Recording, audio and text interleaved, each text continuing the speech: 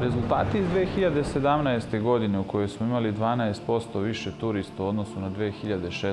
i struktura koja pokazuje da je bilo 51% domaćih, a 49% stranih turista kada je reč o njihovim dolascima, pokazuje da Srbija zaista postaje sve atraktivnija destinacija i za domaće i za strane goste. Srpska ekonomija u 18.30 na drugom programu RTS-a.